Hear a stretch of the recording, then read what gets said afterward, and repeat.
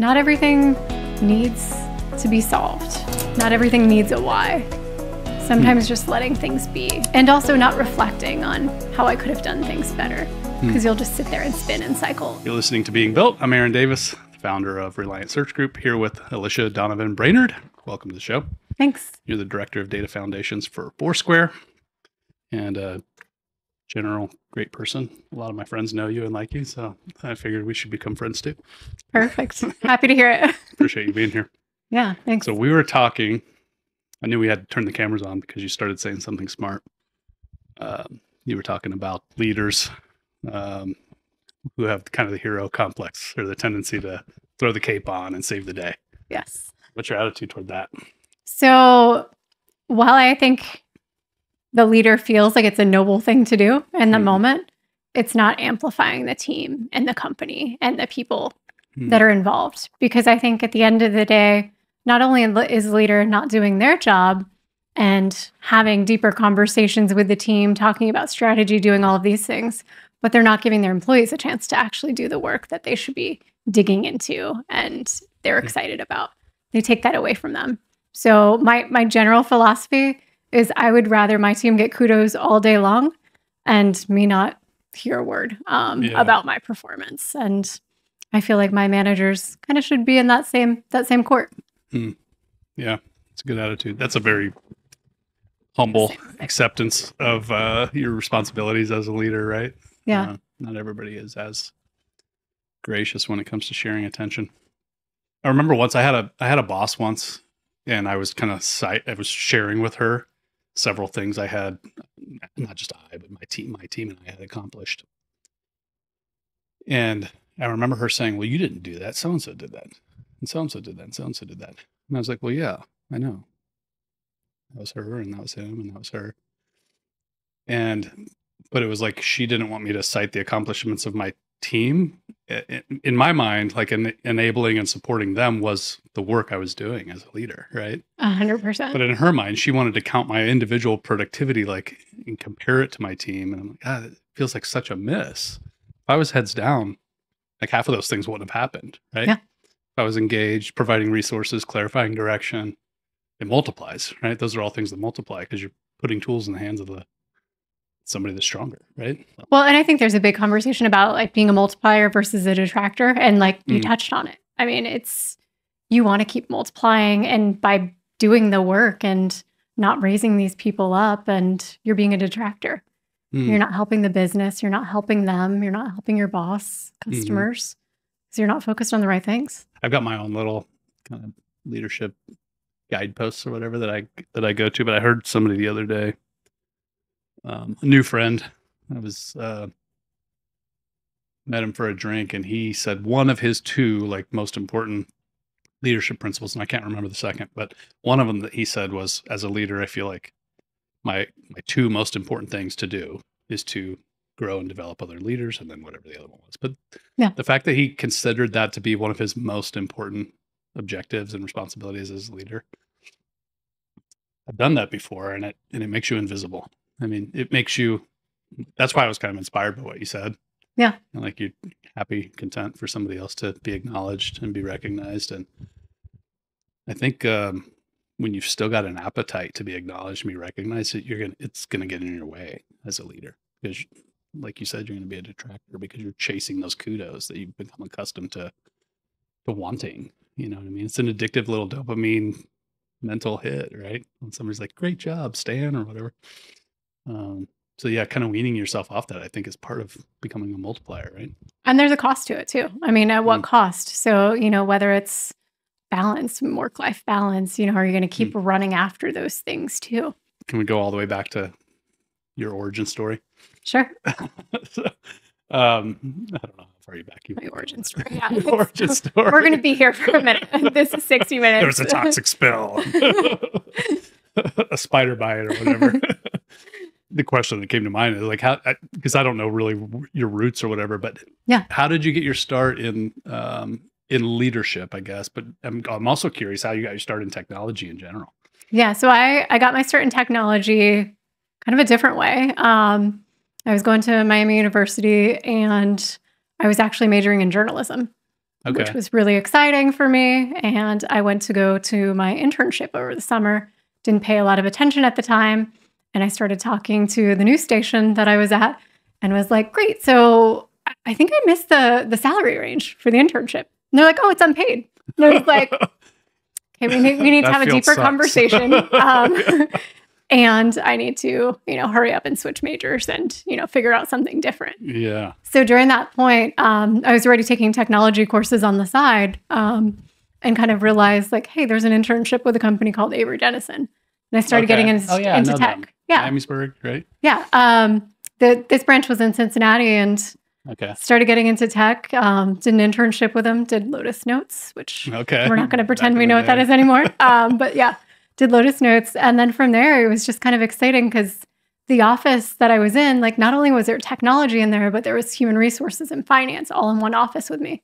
So Hmm. being excited and that person at the time, I was like, finish my engineering work. Like, let me go help these help these other groups. Mhm. And then I started to think, what would it look like to do all of those things in one job? Like, what kind of job is that? I want that. Mhm. And that's where my career kind of started evolving over the years Yeah. and you know had opportunities at various companies from LexisNexis to Salesforce to now Foursquare. So you got your start early then, I did. an internship. you were still a student. Yeah, I was still a student.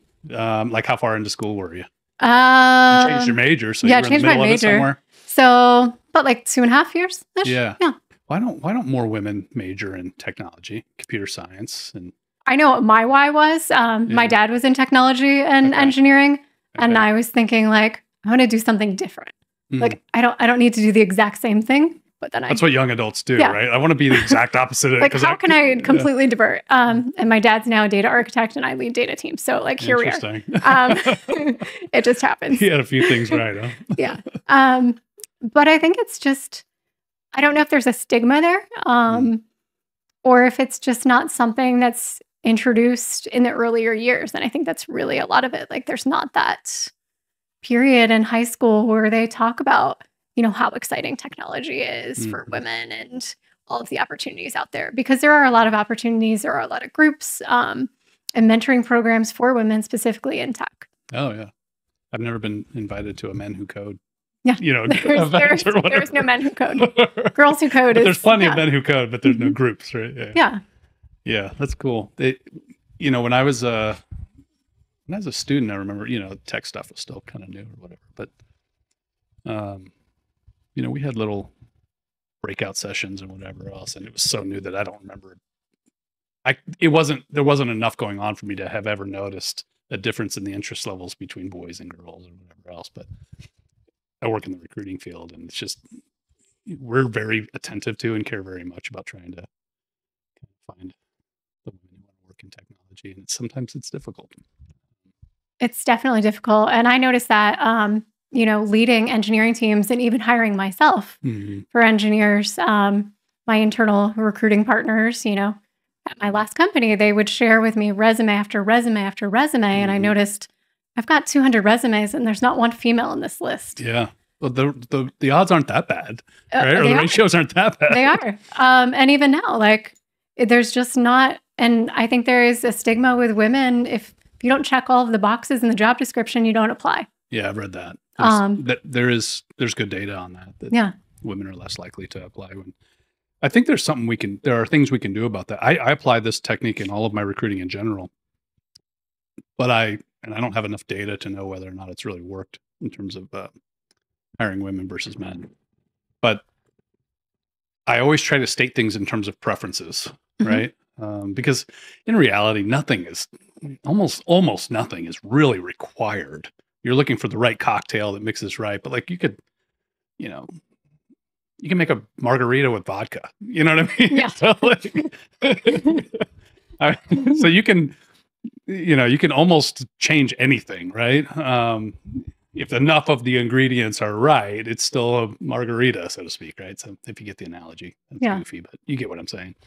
So I, I always try to state things in terms of preferences because and then highlight, focus on this is what we're trying to accomplish. If this sounds like the kind of thing you would enjoy accomplishing, then and you bring enough of the tools, you know, to the job or whatever, we can get it done together, right? But I don't know how effective that is, but I have read that I've seen that same data that women are much more inclined to pass on a job that they don't meet 100%. Well, and I like the way that you put that. Like these are, you know, here's some preferences. Like not all of these are musts. Like, and I think that's the part that just Yeah. there needs to be like an entire course or book or thing or Yeah. some like revolution on that. There's a ton of them. there are, but like just just a one kind of focus area with just the quick like here's the TLDR. Like Yeah. Let- that's let's right. roll. I you know I find that recruiting toward things you want to accomplish is a missed opportunity. Um, man, I'm trying to remember the name of this dude. He's kind of like a recruiting guru.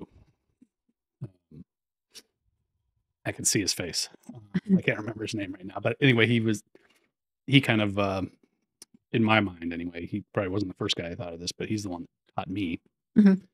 that um, writing job descriptions less about skills that need to be done or, or tasks that you'll be responsible for and less about requirements of skills that you have to have and more about this is the you know because as soon as somebody shows up Yeah. you're like okay here's your goals three six nine months or whatever why don't we Yeah, you're not going down the list beginning? of skills. Like, tell me about like, let's do something with Scala right. Let's do something with Java right now. Like, no, you start talking about okay, these are the things to be accomplished, and this is kind of the general guide to when and why it's going to be accomplished. Like those are the things to talk about. Yeah. the very beginning of a relationship when you're hiring someone. Anyway, I didn't mean for this to be an interview about hiring, That's fine. But uh, yeah, your origin story kind of intrigued me because you made a mid mid college career change. Um, Yeah. that's un, that's uncommon enough, but it's cool that you switched from journalism into technology, and that, and that was a little bit money motivated, huh? yeah, it was definitely. Um, it was a how can I survive? You know, the summer and summers um, kind of coming up. Mm. And what does that look like? Because I, I don't want to ask my family for support. I want to do it on my own. yeah. Well, and a little bit you had a point of reference motivated too, so you kind of knew what Yeah. technology work looked like having having family uh, that did it. Did you have any other, you know, like key influencers, mentors along the way? Have you had have you had big influence people? We all have somebody or a little Yeah. bit, but eh, have you had anybody in your experience that was kind of like pivotal in terms of your career changes or I mean, I would say at every single company I've worked at um, throughout the years, and there's way too many to list here. Yeah. Um, but every single company I've gravitated and found a mentor in Mm-hmm. in a company. Um, I can think back when I worked at Nation Builder, the CEO of the company, Lea Endres, like yeah, she she was a hundred percent my mentor. really? She was a badass woman like Mhm. that just got And she into took a an room. interest in you. Yeah, and she took an interest in me and was able to coach me and like say the hard things to me, mentor me and you know, it wasn't it wasn't a soft relationship by any means and conversation with her at, at any given time it was very Challenging. yeah, I guess you know, very challenging. So she wouldn't just go into a room and status quo like wasn't the thing. Mhm. She was always pushing and always trying to get you outside of your growth edge or comfort zone or s- space. I used to think friends were people who you would do fun things with you. Mhm. Um, and then I realized literally any stranger anywhere will do that. They could care about you not one bit. Like you could literally just meet a random person at a coffee shop or a bar. And if you're doing something fun or you have a fun story or whatever, any random person will do fun stuff with you. Yeah. And then I learned, I think maybe in the course of being an entrepreneur or something, real friends are the ones who are like, "Hey, get your fat ass up! It's time to go to the gym." Or, "Hey, like, why aren't you why aren't you calling on this person?" That that would be, you know, oh, you're afraid they're going to say no. You're a wimp. Come on, do it. Like I, I learned that friends are the people who will push you, Yeah. you know, and challenge you and say hard things and say, "Ah, your website looks gar- like garbage." You know what I mean? Um, why why are you saying this? It makes you look stupid. Right. um you got to right you got to earn a right to do that you got to earn a little bit of trust or whatever but i learned that friends are the ones who do the hard stuff right so Yeah. good that you found a friend and a mentor somebody that would challenge you you know I, I've always tried to pick, I don't want to say the loudest person in the room or the, you know, as a mentor, or it's it's really that person that's doesn't say yes to everything, and Mm. that's the person like I kind of target and go after as my mentor. Like, let's find that person that pushes me completely out of my comfort zone Hmm. because that's where I need to be. You have any friends now or valued colleagues work friends whatever that were at some point you had a, a conflict with them or you didn't like them I don't know about conflict. So one of one of my best friends, um, she was my my yoga teacher, um, Mm. and she pushed me to my limits every single every single class, every single practice, every single teacher training. Mm. It was always a you know a little bit more here, like move your legs down or this or that or any any anything. Um, Mhm. she pushed me over the years and I always respected that and Yeah. was always like, oh, like, is it just me? Like, am I, am I the only person she's doing this to? Like, Yeah. because it felt like it. So you felt attacked at Yeah. one point, and then, then you realized you were being built. And I was like, this is great. So like, at the end of the day, I was like, I'm getting all of this attention 'cause she wants to push me harder and make me Mhm. better. Like, that's what this looks like. Um, and years later, like, we're great friends. We're doing dinner this evening. Like, Nice. it's just, All it's right. one of those things where it's just like, and she, you know, we talk about the why. And she's Mhm. like, here's why. Like, I was telling you, like, to hold plank for four minutes. Like, it's endurance, it's strength, it's, you know, mindset. just making a killer out of you. That's cool. Yeah. So um, That was year, a couple of years ago. So I don't know, about four minutes, maybe about like three and a half now. it's good. I'm glad you guys kind of found the found that connection. I got a couple friends like that that were. I just thought they they irritated me at some point. You know, they were they would grind on me or whatever. And eventually, I realized it's it's because they were. It was respect. You Yeah. know what I mean? Like, you find an old Chevy Chevette, you know, at the dump, you're not gonna be like, oh, I want to restore this. It's the thing you find the old jewel, you're like, okay, I'm gonna go bang on that thing and fix it up or whatever, right? I'm not really a car guy, so I'm not sure why I chose that analogy, but you get what I'm saying. Like cars. well, different topic. What do you- Yeah. let's talk about what you're building. I'm Yeah. curious what you're working on at Foursquare. so at Foursquare, um, I lead the data teams over there. So we're building a lot of incredible things. Um, I mean, a lot of what you do there is data, right? I Yeah. mean, it's a, it, it's all about providing data to, if I understand it correctly, it's all about geospatial data, right? yeah, providing data um, to customers and ensuring that we have the right data and data Mhm. quality is really important. So hmm when you go to dinner with your family, you check the Foursquare app and you want to see like, is this place still open? You Mhm. don't want to drive all the way there and it be closed. Mhm. That's right. So the importance of this data, you know, not only from just a that perspective, but it also helps companies or GPS when you're going Mm. somewhere. When you've got to be there quickly, you want to make sure these locations are still there. hmm The maps are accurate. All of these things. Mm. Um, so these are just some of the things that my team provides hmm for our customers, and What's the biggest challenge you're facing right now that you're working through? there's so many places where data comes in. We've got first party data, we've got third party data, and ensuring all that data is accurate.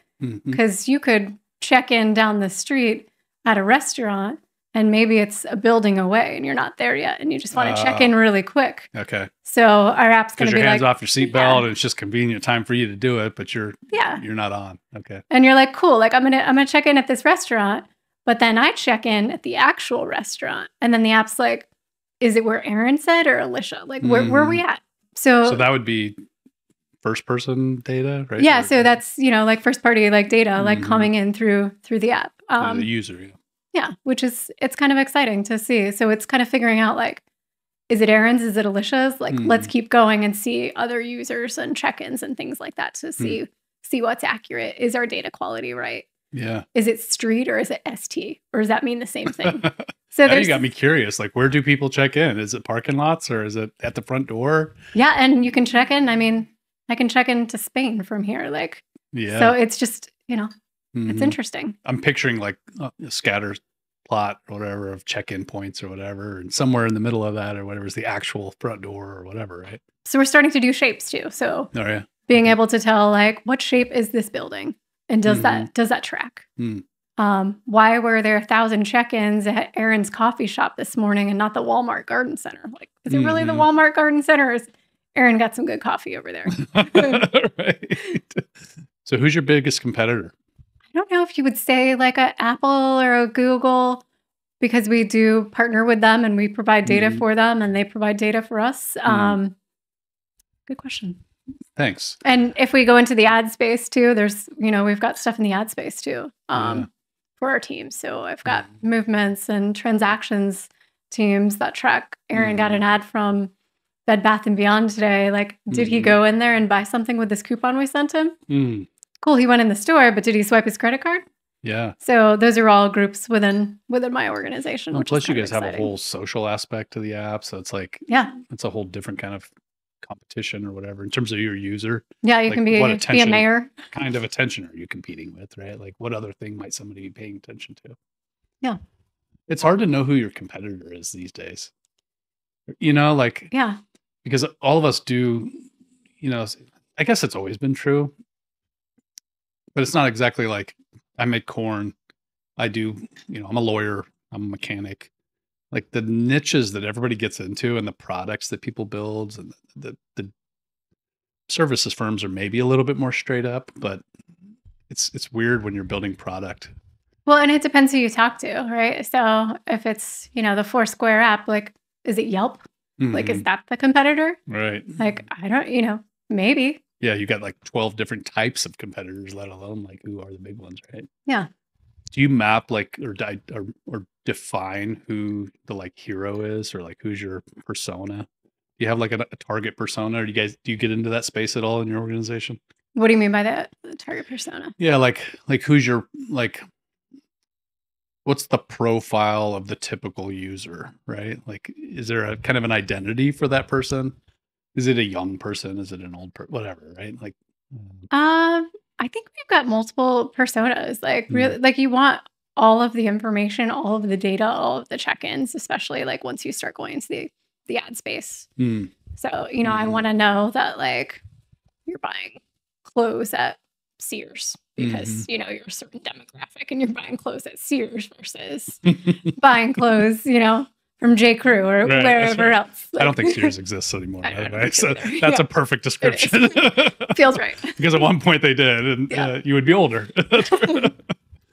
Um, so I, I don't think there's one customer um, yeah. for our web applications that we've got and mobile apps. What are you trying to build next? Like, what's your kind of frontier or whatever? What's your um, objective over the next year or so? So the biggest objective for us is data quality Mm-hmm. um, and ensuring that data quality is clean across different geographies. Hmm.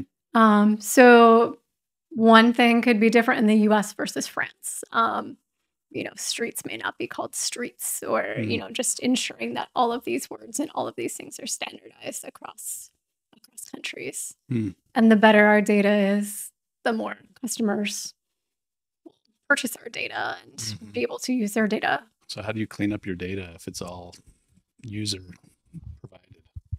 So, I mean, there there's other types of data. Like we've purchased companies over the years, so we have Hmm. other data. It's not all first party. There's Okay. third party data as well. Um, and I cleaning it up. Like we've got machine learning um, teams as well within our organization. So there's some machine learning that kind of goes into it, and some AI that goes into it. Hmm. There's also some manual um, engineering work where my teams will kind of go in as well and just start to look up like street is the same as street Mhm. and ST, and it could be like ST period, and just cleaning up some things like that where you're like, feels like common sense, but you know, computers don't always know that. Like it's yeah, it's not always clean and it doesn't always format the same way.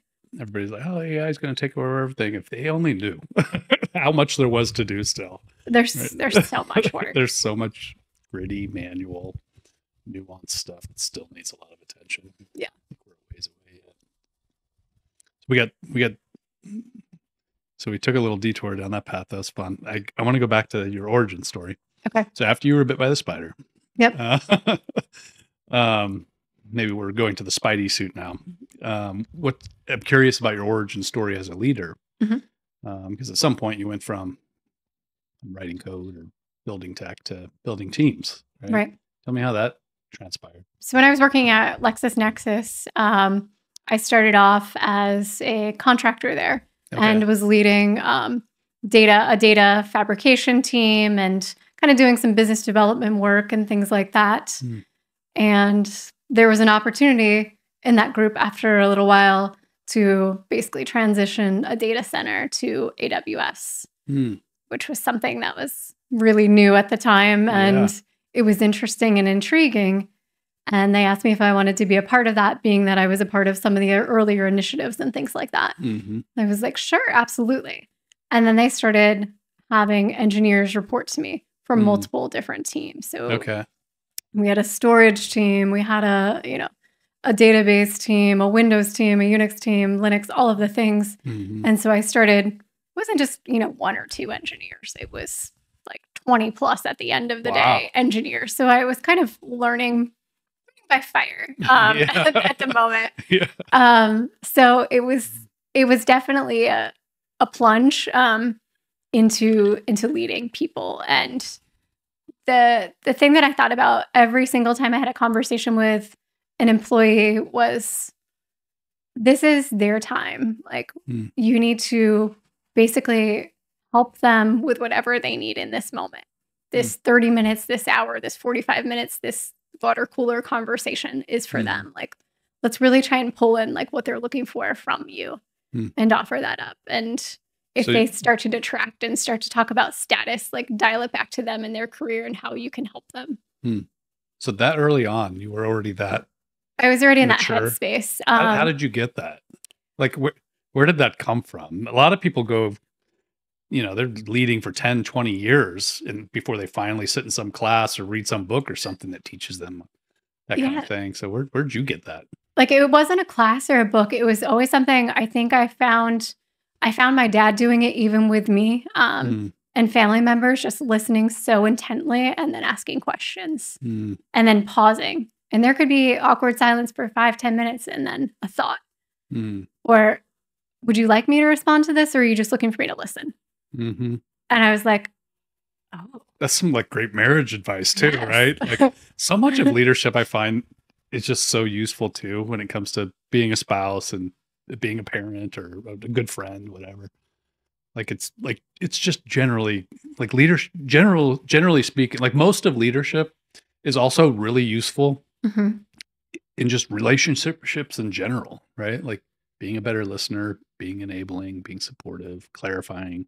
Yeah. Um, but when you said, "Do you need me just to listen, or do you need a solution?" That just sounds like something I've been paying attention to in my marriage, right? So, yes uh, um, but yeah, that's cool too. That, I mean, that's smart leadership uh, Yeah. advice too. And I think just hearing it my entire life was just one of those things where I just kind of dialed into it where it was like, I don't know the tech that they're working on. Like, I'm not a database engineer, I'm not a storage engineer, I don't do Linux, but hmm here's where, you know, I can try and help them. And what does that look like? What do they need from me? Do they do they just feel like venting in this like time? Or Mm. like are they looking for me to solve things? hmm And if so, like here's how far I can go. hmm My son came to me not long ago, a couple weeks ago or something, maybe a couple months. I don't remember, but um, he's a new homeowner and he needed to build a fence, and he knew I was pretty handy with tools and such. And so he started telling me his plan, and I was like, "Well, have you?" And he's like, "Well, hold on, I just want to tell you my plan. And tell me if it makes sense."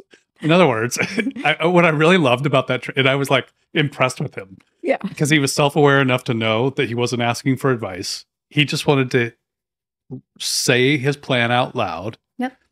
And to somebody who would tell him whether or not that makes sense at the end of it. And it was he was really just looking for validation. And so he was a he knew at that point he didn't want somebody to tell him how to do it.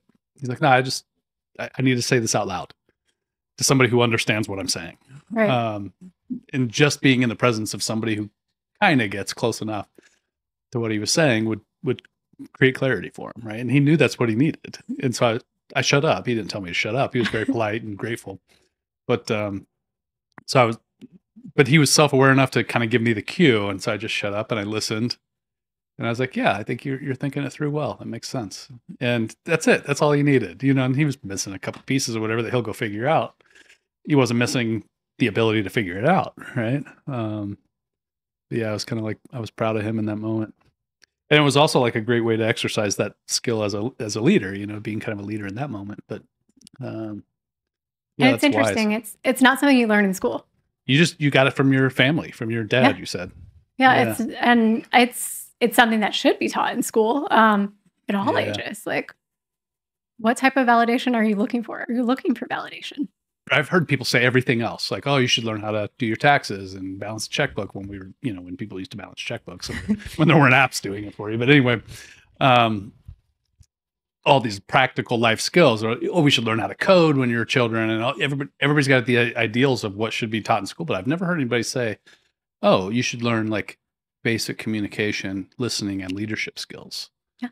in school and you really don't you really don't learn those things because you're supposed to learn them from your family And it's your entire life to. Moving don't know. forward, like essentially in all of the areas. but so many people don't learn those things in their family dynamic i mean Yeah. i would say maybe most people don't what do you think i don't know it's a unique enough and value enough, valuable enough skill set that i'm inclined to think that most people don't learn it I I Yeah. completely agree with you. Um, and just in conversations that I've been in with other leaders Mhm. and you know bosses um, from the past, Mhm. I don't necessarily have that same. Right, they Same weren't raised the way you were conversation, There's a lot of like, okay, here's what to do, and I was like, wait, wait, wait, we're no, yeah I'm just again like like your son, like Yeah. I'm just validating like this this is the way I'm doing it. Like, do you see anything glaring? If you do, share it. If not, like let's let's roll. You still have a good relationship with your dad I do, yeah. you guys you get to spend a lot of time together or Uh, decent amount. So my family lives in Rhode Island, so I go and Okay. visit them. that's kind of Um, what i was asking yeah. like are they close enough to be able to spend time with them but Yeah. yeah that's good um, i was going to say you should say thank you if you hadn't but uh, Yeah. it's good i think to reflect on the things we're grateful for the gifts we were given by people because tell me what your attitude is on this um, what's the secret to your success? Oh you work hard and this is how i became successful and whatever. And then some people would be like well i got this lucky break and i was fortunate here and this person you know backed me financially or you know my mom encouraged me to go to college whatever you know like people will cite the things the lucky breaks that they had or how they were lucky or fortunate. Yep. and then other people when you ask them what the secret to success was they will cite their hard work and how they overcame and whatever. And, and maybe both are true Yeah. but even when it's your own work ethic intelligence good decision making discipline you learn that even that even those things were a gift that you got somewhere whether it was reading a book or or, or a mentor or some or a friend that challenged you like all even those things that you did that you brought that you learned how to do like i think i learned discipline when i was in the army and whatever and i learned that oh i can i can keep running even though my body is telling me to quit and that i want to die Right? like i learned that with somebody in a green suit yelling at me you know what I? So, I don't know if that's the best way to learn that, but that's how I learned it. You know, you Yeah. can learn it playing sports. You can learn it from your parents, whatever. And I learned. So anyway, even the things that you are responsible for, at some, somewhere down the, if you keep asking, well, well, how did you know to do that? How did you know to do that? Anyway, that's my attitude toward it. What's your secret to success? I'm lucky. I got really lucky. I'm very fortunate. There are people who work harder than me that are dirt poor. There are people who are smarter than me that are not successful professionals, right? Yeah.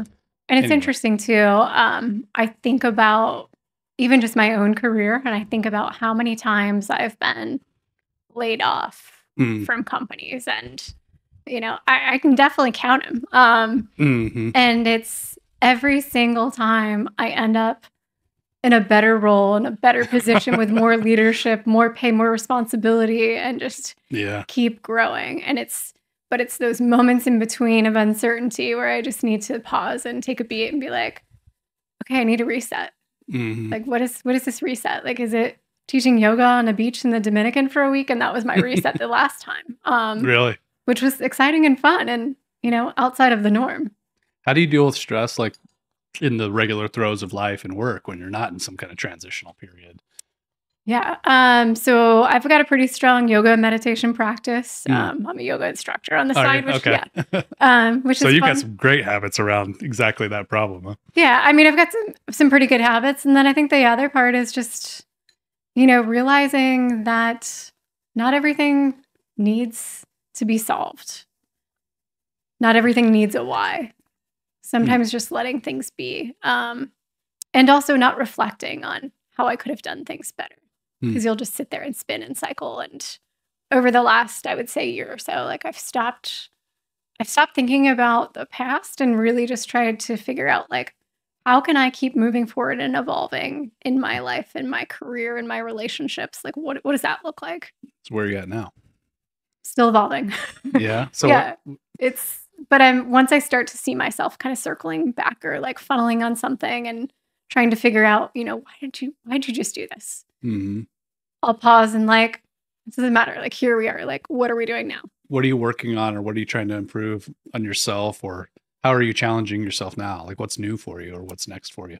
I think the next thing is, I mean, continuing to to mentor at a at a lar- larger scale Mhm. is the next thing for me. I've started to do more speaking engagements, have more Mhm. conversations, and just really have a bigger bigger outreach than just my team, my company. Now it's my community, and like, what is it after Mhm. that? And just a, one little car on your train of, of speaking engagements, right? This is incredible. I enjoy this. you were fortunate to have a, at least one good mentor or model early on, and then have had several since. Mhm. You've collected a, you know, a book of knowledge of sorts that you carry and deploy from your your own experiences. If you were to think about, you know, if you were maybe it's not exactly you or some version of you, somebody else who reminds you of yourself or whatever, it's thinking about leadership or contemplating kind of career steps, what advice would you give to somebody that's uh what advice would you give to somebody who's new in their career about how to prepare and how to uh, take advantage of opportunity or lead well? Like what would you what would your kind of first thing, your first thought be? Um, my first thought would be to talk to everyone. Hmm. Have conversations with every single person in the room. Hmm. Get to know get to know them, get to know what they're working on, why they're doing something. So if you start in a company, like start to talk to, you know, the customer support teams, figure out what their pain points are. Hmm. Talk to finance, talk to, you know, talk to different groups outside of your organization to better understand Hmm. and to be able to at the end of the day come up with creative solutions that can be outside the box because now you're starting to understand you're starting to understand your customers your company you're starting to build your own brand Hmm. people are going to come back to you and being that trusted advisor hey i remember that time i had that conversation with with this person they listened to me Mm-hmm. And being curious and i think it's it's really it comes down to curiosity Mm-hmm. Is that like a core principle for you? It is. I'm I'm always curious about things to to an extent. I'm I'm curious about engineering and coding, but am I going to go out there and learn the latest language? Probably not. Yeah, same. I mean, the finer details of execution and application, whatever, they, they, they can be, you can put blinders on and, and not see anything else if you, if you dive too deep into any one thing. Yeah. Curiosity is, one- I mean, that's a kind of fundamental value for my firm too, actually. Reliability, sincerity, curiosity, kind of what we base our whole practice on. And it's the curiosity that I deploy or that I adhere to or that kind of feels natural or right to me is trying to see from a bigger picture, trying to kind of step out a Mhm. little bit. I tend to engage into problem solving, and a lot of times the problem is just not having a broad enough view. Um, so I found that same kind of experience that um, getting a different party's perspective or, or stepping back or stepping up. I think a lot of relationships and leadership in hierarchies or whatever happen because I often find my there was a there was a point in time in my career where I realized that guy might be a little bit of a jerk, but he might actually be right. He might be dealing with a problem you don't understand, Mhm. right? And so I, I would hear people grumble, and I would start to realize people are grumbling because they don't understand something. Yeah. And the real problem there is that that leader who's creating con- contempt or whatever with the team isn't making it clear what kind of problem they're working on right? They're not they're not making it evident to everybody else what they're really dealing with. So you we have this tendency as the the doers or the lower level leaders or whatever think oh they're dumb. They don't know what they're doing. They're making dumb decisions. They're not making dumb decisions. They're just communicating poorly they aren't Right. saying what they're really dealing with. They aren't articulating or clarifying what the real problem is that they're grappling with right? Just- and, and sometimes it's because they're embarrassed about them Yeah. uh, maybe it's because they don't they think they've said it and they haven't. Who knows why but anyway. Yeah i think curiosity about what the higher that's where i was going with that. That helped me get ahead a little bit. So that's that's great advice.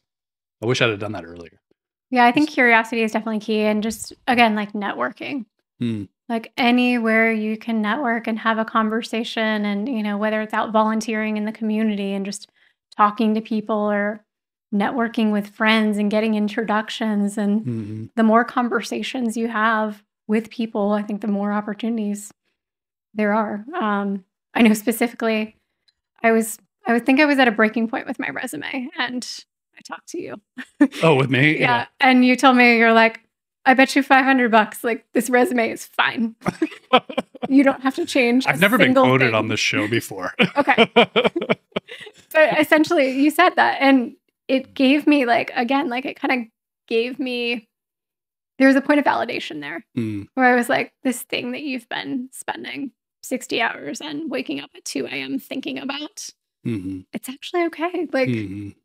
It was. it's just not your time yet like now that you remind me, I remember. I remember seeing your resume. It was fine. Yeah. You know what? That's that's so often the case that somebody's like, "Oh, I've got." I think, hey, look at my resume. Okay, can we talk resumes for a yeah, second? yeah. I think when you're looking for a job, it's a great idea. It's a horrible idea to worry about your resume, and it's a great idea to ask people for advice on your resume. And here's why I say those two things. When you ask somebody for advice on your resume, it gets them to read your resume. And so it helps you tell the story of who you are. Um, inevitably, they're going to give you some pointer. It Sure. doesn't matter if you just paid $8,000 to the best right. You know, you could have had Malcolm Gladwell could have written your resume or whatever, some renowned writer or whatever could have written your resume. And you, and it's, it's somebody's still going to give you a pointer on how to improve it. You can iterate, improve, change your bullet font, blah, blah, blah, forever. Um, it's not going to change anything. It's not going to change that much.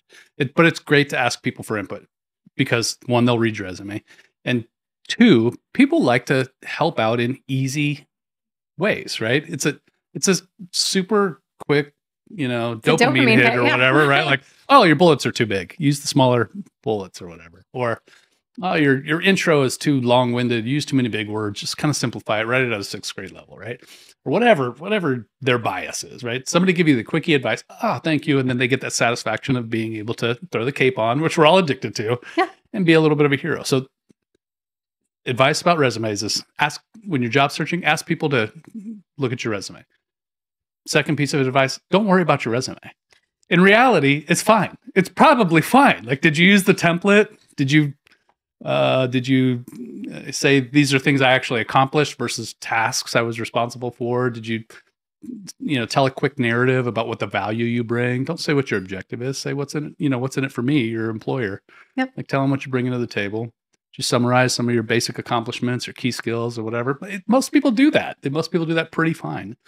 Maybe one out of 20 times somebody will show me a resume and it's kind of garbage and it needs to be reworked. But the other 99.5% of the time, it's that math doesn't add up, but you know what I'm saying. the vast majority of the time, everybody's resume is great, and you need to be networking. Yeah. I think people miss the opportunity to network with people who don't understand your work too. Network out of your skill set or function. I call it the gardener and the grandma. talk to me about that Okay, so it's, you're interviewing me now. You're going to be good at this whole speaking engagement thing. so my gardener and grandma uh, advice is that you need to be able. uh, The gardener and the grandma are people that know you and like you, Mhm. but don't understand what you do, right? So I had a guy come here and he painted my um, kitchen and dining room area. And he said, "Can I? What do you do?" You know, he saw the, the uh, podcast equipment. He's like, "What do you do?" And so I had to articulate to him what I do. I hire people that are hard to find. And I've rehearsed that. I've practiced that. And so I've gotten it down to a small, simple thing that in this case it was the painter. Right Um, could understand. You don't have to be in my space to know what that means, to understand that, right? Um, and I think particularly high tech people have a difficult time. Like, how do I just pare that down so it's digestible for everybody, for anybody? Like, I, I help software companies build elaborate, difficult, complex systems that make a really simple experience for somebody using an app. I lead teams who do that or whatever. And so grandma gets that. You know, oh, okay, so you build these apps. Okay, yeah, sure. Like you only have to make it make so much sense, right? right So the gardener and the uh, the gardener and the grandma principle is that you need to simplify what it is you do enough that somebody completely outside of your domain gets it. So it should be a one-liner, not an elevator pitch, a one-liner. Um, not- it's just one step on the staircase, not the whole elevator ride, right? a one-liner. You so you what it does is it makes you clarify your your pitch, and these are people who like you. People fail to network with affinity and they they network instead with relevance. But the people who are relevant are also competing with you. They don't care about you as much as they pretend to in the office. Sure. Um, but your grandma loves you, right? and she will introduce you to that one friend who comes into the salon who runs a tech company or whatever. And you might be close to being relevant, but that's a that's a great connection, right? Absolutely. Affinity is more valuable in your networking than relevance. And people miss that opportunity because those folks are commercials. It might be a commercial playing at the right the wrong time of day to the wrong demographic, but it's going to catch some ears, right? So anyway, gardener and the grandma, that's how you network. Everybody. You can't miss those folks. People who like you and don't understand you, you need to work them into your circle too. That's great. Yeah. Thanks for letting me run that. no problem. What's going to get in your way over the next, you know, year or whatever? When you're trying to build who you are and build this product that you're working on, like what's going to get in your way? Your personal goals, your professional goals. You know, there's tons of things that could get in my way, but the Yeah. only thing that can get in the way really is myself Hmm. at the end of the day. Like it's me and it's, you know, do I make the right decisions? Do I empower the right people? Am I hmm leading wholeheartedly or am I am I trying to amplify the wrong person? Am I amplifying mm. myself? So I, I think some of those some of those things are definitely things that can get in the way over time. And It's tough sometimes to know if you're depending on and investing in the right people. it is. That's stressful because people are such a finicky product. They never stay still. Yes. how do you how do you figure that out? How do you know? How do you how long does it take you to figure it out? And how do you know if you're investing in and depending on the right people? it's always important to invest in a person and not have any expectations there. Hmm. I can invest in one of my employees and they could leave tomorrow, but I Hmm. still invested in that person. And I think it's investing in the person versus the employee to do a thing for you. Hmm. And I think that's important. And Yeah, that's refreshing. So you're not using them like a tool. right, it's, you know, if they do a great thing at another company, great. If they, you know, say something to a family member to help them out because of a comment that I made or, you know, them feeling better about themselves, great. How embarrassing that I just had an aha moment. What about not just standing on people and using them or whatever. Mhm. But that is so much the that's the context in which I asked that question. Because so much of uh you know, you depend on so many other people when, to be successful when you're leading something, especially when you're senior leader responsible for big things. And I mean, granted, like I want a great team. I want a team that can deliver our products and all of the things for customers. And but I I think more importantly than that, I want to ensure that those people are happy. Mhm. And, you know, happiness is is a balance and Yeah. making sure that they've got that balance. Because it's really hard in tech to keep that balance. Yeah, that's a really good point. Because when my love life, my children, my home, um, money, health, when all those things tend to be good at the same time, and then all of them suffer a bit when when something when one of your critical things, you know, your handful of like key things is messed up, they all suffer a bit, right? Um, it's interesting. You said you you invest in people and you you work on making them happy, and but I mean, can you really take responsibility for somebody's life? I think it's taking responsibility for their life, but just putting some guardrails in for them on the Mhm, track. mhm. So, you know, basically ensuring that they're they're spending time outside of work and they're Mhm. able to disconnect and being able to help them with that disconnect and ensuring like hey, it's it's great you want to do this, but if we need more people, more time, those are things I can I can help with. yeah, I can't give you back time with your family. It's not something I can help with, you know, if you're not working with me and communicating these things. yeah. What a refreshing attitude toward leadership. Just so everybody listening knows, I'm not a complete psychopath. I did just have a teammate the other day. I can tell on a, one of my somebody on my team was like, I can tell he was not fully 100% engaged. And I said, "You doing okay? You didn't seem like 100% yourself. Oh, just going through something. Okay, cool. Let me know if I can help. Right. And I think just like we'll revisit those things. You got to deal with something that's cool. And just making it okay to be a human, Yeah. to have other things on your mind, to be stressed at times by things that are not work. Just making it okay, I think sometimes makes you come back with a different kind of zeal, you know. And that was it. That was the end of that conversation. And then the next day, it was like a different kind of energy, or however long, a couple days later, different kind of energy. I was like, doing okay?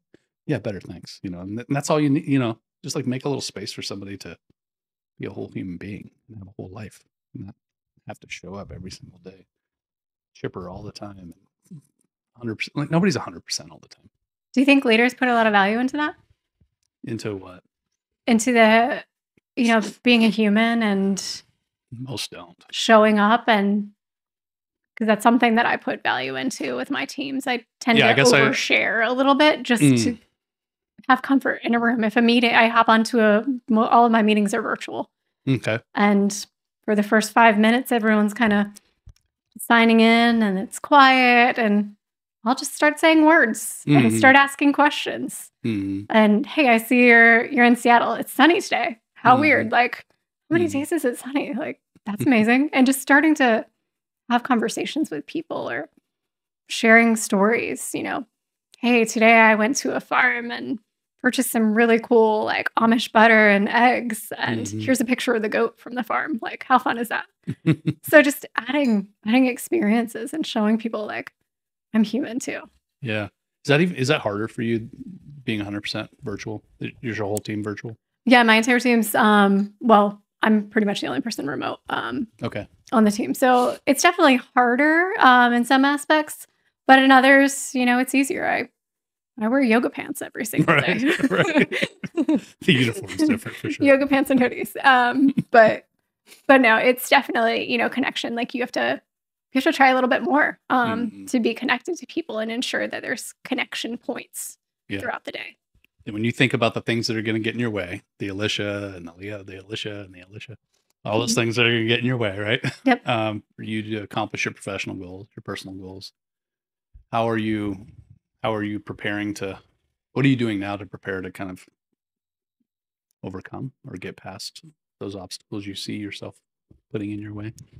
it's a bit of self-awareness and just being aware and not replaying every day but just kind of processing like am i still on that track?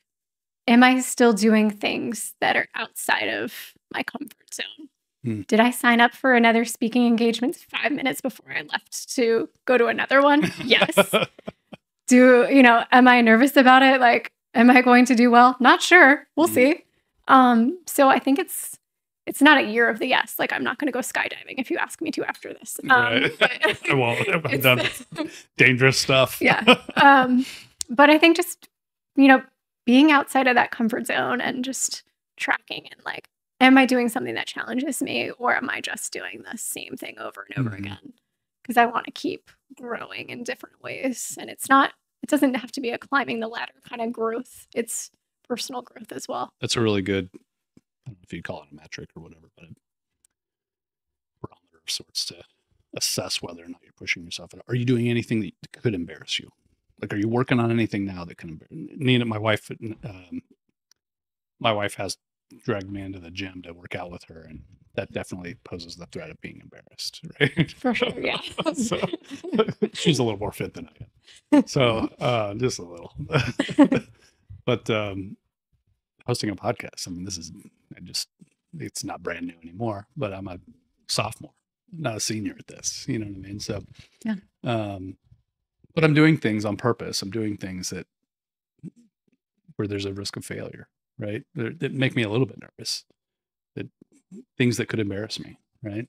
Um, but I, I think when I look at my life, to share your point, to agree with your point, if you're not doing anything that's like risks embarrassment, you're probably not. You're not doing anything new, right? Right. You're not. You're not uh, pushing yourself at all. Anyway, thanks for that. That was a good validation right there. I think I needed that. You know you're going somewhere if you're not sure. You know you're going somewhere new if you're not sure where you are. exactly Yeah. Well, great conversation. Thank you very much for being here and recording this with me. thanks